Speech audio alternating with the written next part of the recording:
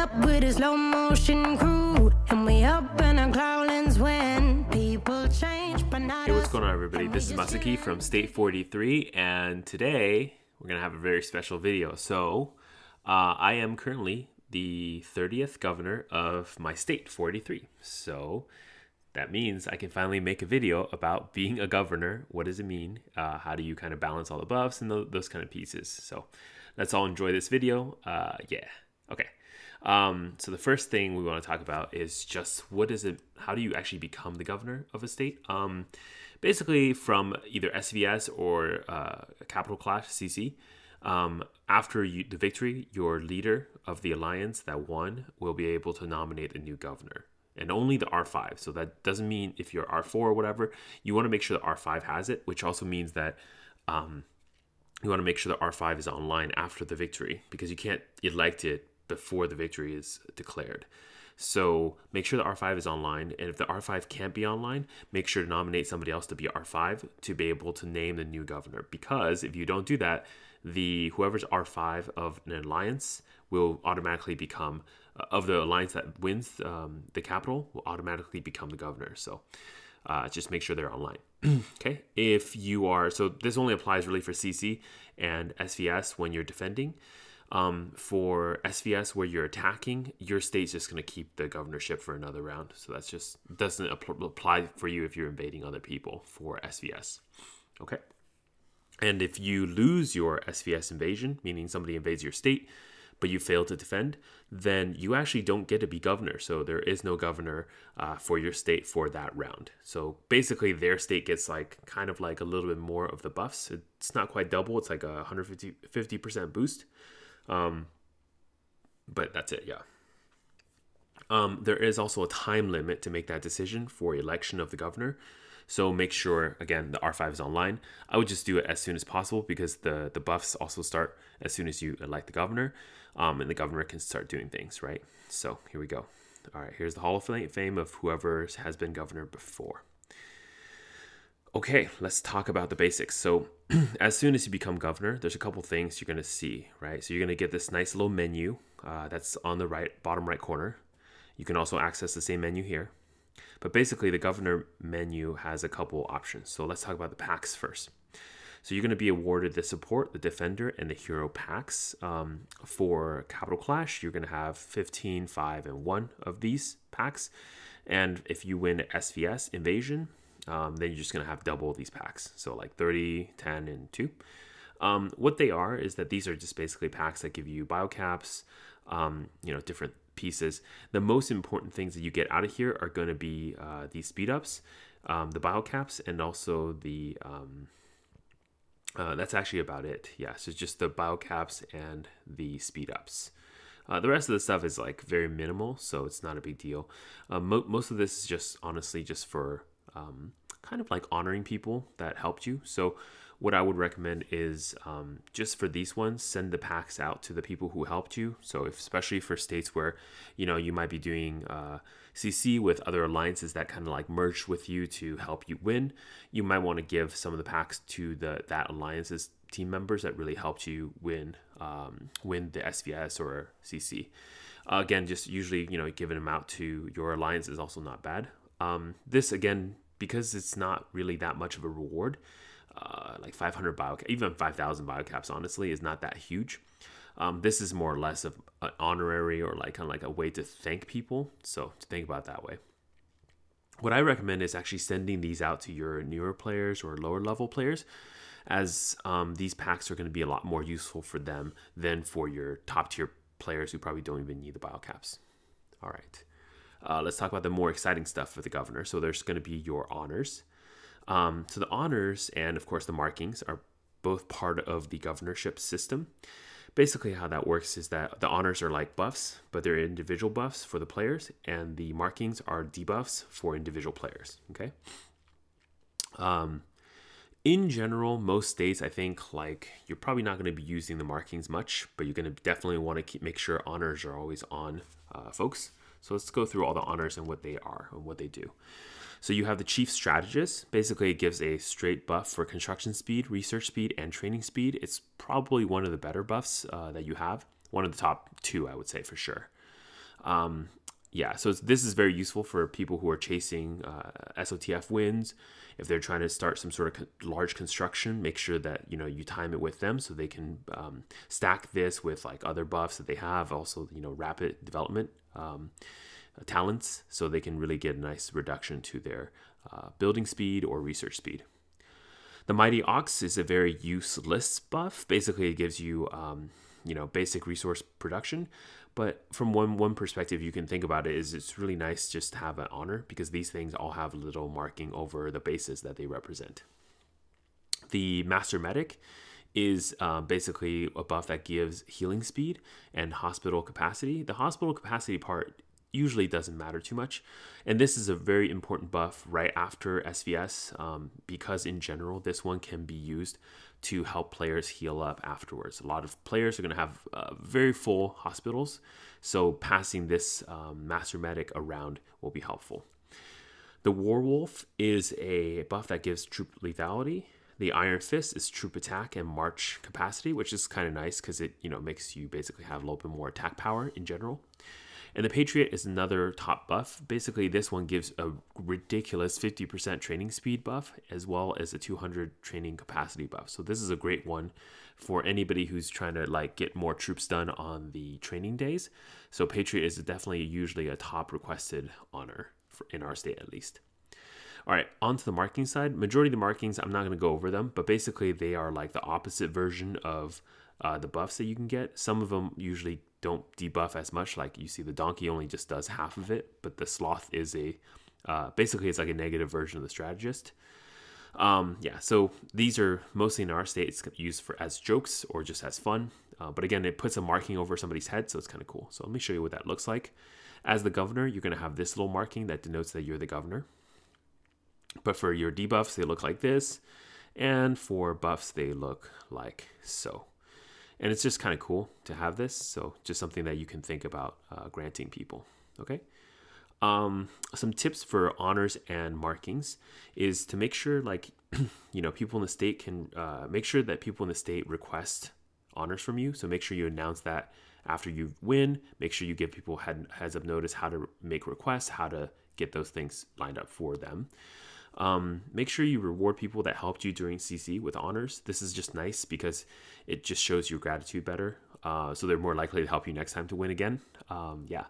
Share the honors around and help those in your state. This is actually pretty important uh, for our state. I, I believe this is one of the things you know uh, that continues to build into our unity as a state to make sure that you know we have a state that kind of works together um, because we don't we don't just give the the buffs only to our own alliance we do share that around the state and it helps a lot from when we go into SVS to have a unified front.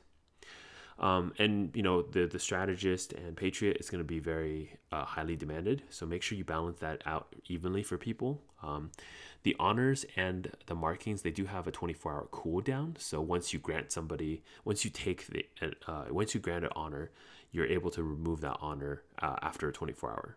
Sorry, that only exists for the honors, not for the markings. The markings you can remove right away. Okay, so let's talk about your other things you can do here. Um, okay. So let's talk about your actions. So actions are the things you see in this window and also state buffs, right? So um, let's talk about state buffs first. So state buffs are these items you see on the bottom. Training buff, the troop uh, healing buff, the research buff, the building buff. These kind of buffs basically just grant like a 10% increase or a 50% increase to your um, uh, you know, training, sorry, healing speed, 30% to training speed, etc. How you should use these buffs is that um, you should be using them because you want to target for um, the second week. So, so this is really important. Um, most of these things on the surface just look like they're a buff. The problem is that these things do have a seven day cooldown. So you can't just be deploying these uh, willy nilly. So I wouldn't recommend as soon as get becoming governor deploy all the buffs right away. I would recommend kind of holding them off and think about the schedule a little bit. What does that mean? So if this is your first CC or SVS, um, you probably don't know what's going to happen in two weeks, right?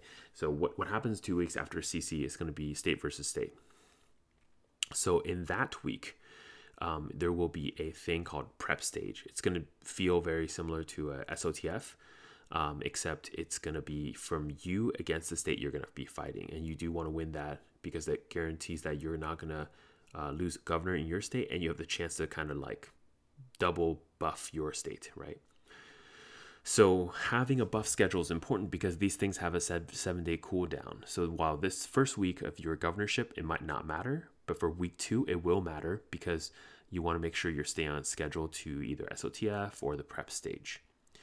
Um, yeah, so uh, kind of how that works is, as an example, let's say on the Monday after you win um, S, uh, CC, you um, you buff like Research Accelerator.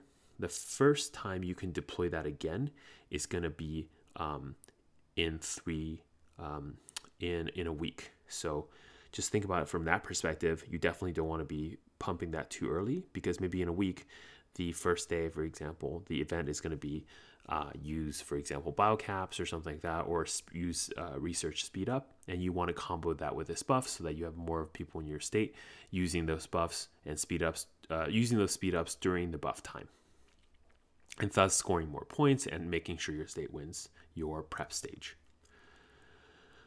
Okay, yeah, so to ensure that you have the bus ready on the state uh, on the days that matter, you do have to look ahead a little bit. And uh, there's going to be a lot of guides online about the the different schedules for SOTF. Um, just kind of follow those guides, and that should help you a lot.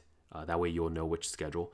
But in general, it's going to be either building or research on like day one, so that's the Monday, and then on day three is going to be the training day, and day five is going to be like the whichever building or research you didn't deploy will be on day five. Um, the other thing is you want to make sure that you are uh, handing out honors like the lethality honors. So that's a little bit different from the, the buffs here before Reservoir Raid. Um, so that's going to be helpful for that. And of course, you want to be deploying the healing buffs right after uh, right after CC. So the healing buff is the first thing you do right after you win, so that you can help the state uh, heal up. And also, you want to drop this again right before the next CC or SVS, um, because it will, even though the governorship will kind of like fade away the moment your capital clash or SVS starts. Your uh, training, uh, your your healing buff will maintain, so that will stay. Cool. So those are the different state buffs you can do. Uh, this part might be a little confusing, but once you go through about two rounds of um, this, I think you'll understand what I'm talking about when I say space out the buffs, have a schedule, uh, and make sure you line up the buffs uh, for week two with the SOTF or prep stage of that week. All right, so as far as the actions, you have um, black market contracts, which basically gives you 250 biocaps, and you can do this three times a day. So you should definitely do this. Make sure you're doing that three times a day.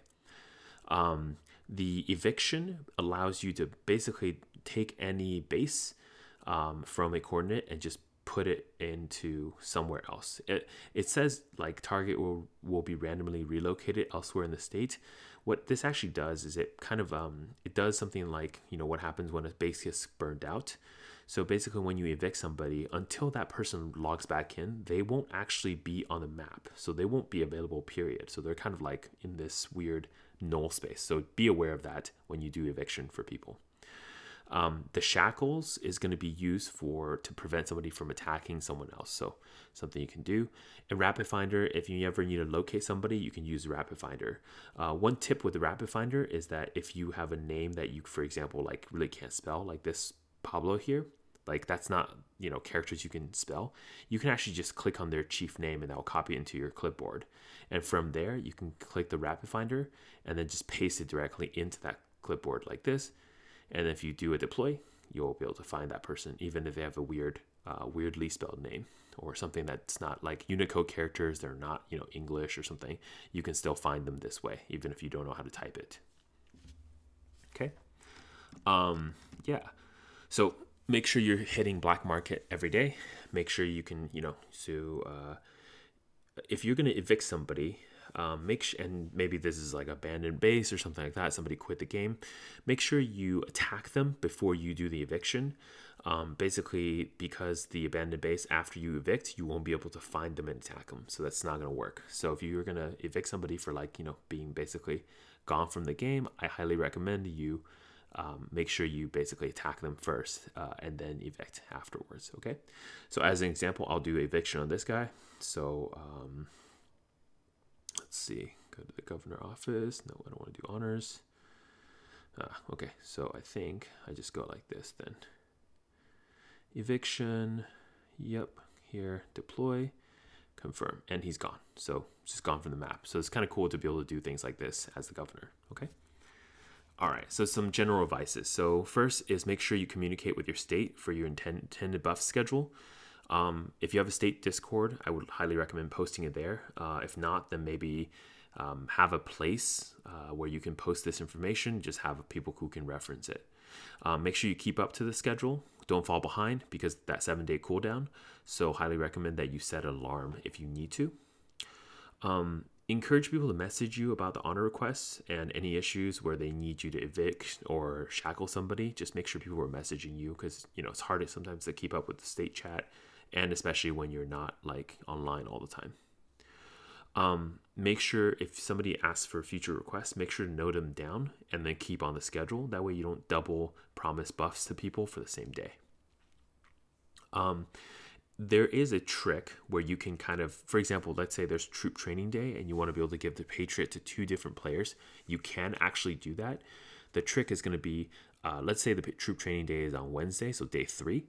Um, you can actually give somebody, for example, the Patriot starting at 12 UTC on the Tuesday, and then shift over to the second person on Wednesday at 12 UTC.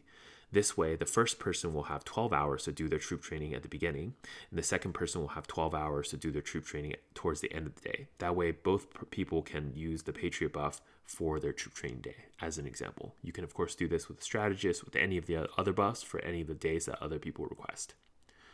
Um, and then lastly, whenever you activate a buff, just make sure you broadcast it. Um, use the microphone. It's what costs you like a couple like uh, biocaps again, which you can get from the black market contracts. So you know you're good to go anyways, right? So. All right, that's pretty much it. Oh yeah, uh, the fun stuff, right? Um, don't worry about governor credits. You know, pretty much all the actions of the players, like gathering, will grant you governor credits. Um, so you're gonna have enough for forever. You won't you won't have to really worry about that. Um, but do make sure you're changing like your state name, your state flag. Again, these things have a 24 hour cooldown, so make sure after you change it that you're uh, you're happy with it. And of course, your state board. This is something that other people from other states can read. Uh, it looks kind of like this. So, as an example, this is what our state looks like. But if I look at the state next to us, uh, we can read their state um, board. Um, basically, you can also read their state board and see what they're all about, and etc. So that's something that you can uh, look at. But that's it. Um, yeah, um, being governor is pretty fun. It's kind of interesting, obviously. Um, it's going to be just, you know, it's maybe a little bit more busy because you're going to be uh, helping people, but hopefully that's something that you're interested in. It does also grant you a little bit like kind of interesting special powers. So uh, I, I enjoy it. So it's kind of fun. So yeah, uh, I hope this make makes some sense to you, and uh, I wish you good luck with your uh, journey to become the governor. And um, yeah, uh, this is Masaki from State 483. I hope you're having a wonderful day, and I want you to stay classy.